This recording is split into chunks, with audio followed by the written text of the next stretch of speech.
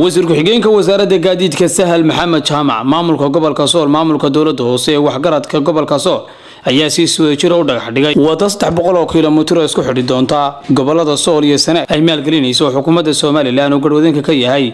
Muuse biixi cabdi ugu horeyn dadka deegaanka ayaa si wadajira u soo dhaweeyey wadadaasi isku xidhi doonta gobollada sool iyo sanaag uu dhagax dhigay uuna ballan qaaday inuu fulin doono marka uu ku soo baxo madaxweynaha cusub ee muuse biixi howlo badan buu qabtay intuu wasiir ku-xigeenka ahaa. Dhalooyinkaan ka daawanayn ama hawshiisaan la soconnay gobolka sanaag bari oo dhan buu soo maray. Intaas oo mashaariic buu ka dhagax dhigay.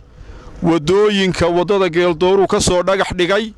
Kuugu mahadinaynaa oo noogu muuqata inuu dee wasiir buuxa yahay oo uu runtii dee go'aan ka isagu qaadan karayo. Maamulka gobolka sool maamulka degmada laascano iyaguna dhinacooda ka hadlay.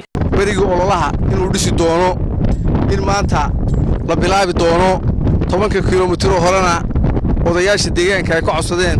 Galbeed way ka soo rogantay oo waynoo haneeyeen. Markaannu u oggolaannay siddeed iyo labaatan sano inaannu la shaqayno yay noo oggolaadeen oo noo haneeyeen oo diyaar u yihiin inay waxaynala qabtaan. Xisbiga kulmiye uu madaxweynaha ka yahay muuse biix cabdi ayaa maanta ayaa dhagax dhigay hore u dhagax dhigay waddadan. In dadkii oo aan idinka maqnayn oo hanti iyo maal iyo xoolaba ilaahay ku manaystay ay diyaar u yihiin inay waddadaa dhisaan. Gabagabadii wasiir ku-xigeenka wasaaradda gaadiidka sahal maxamed jaamac ayaa isaguna ka hadlay faa'iidada waddadan.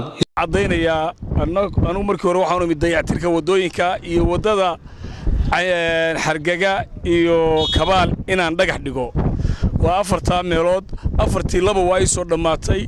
Tii kalena waa aniga maanta dhagax dhigaya. Intaan u imi aniga markii hore taasi ahayd tan xisbiga kulmiya uu dhagax dhigay. Maantana bulshadii reer sool ay diyaar u tahay inay wax ka qabato sida gobollada kale.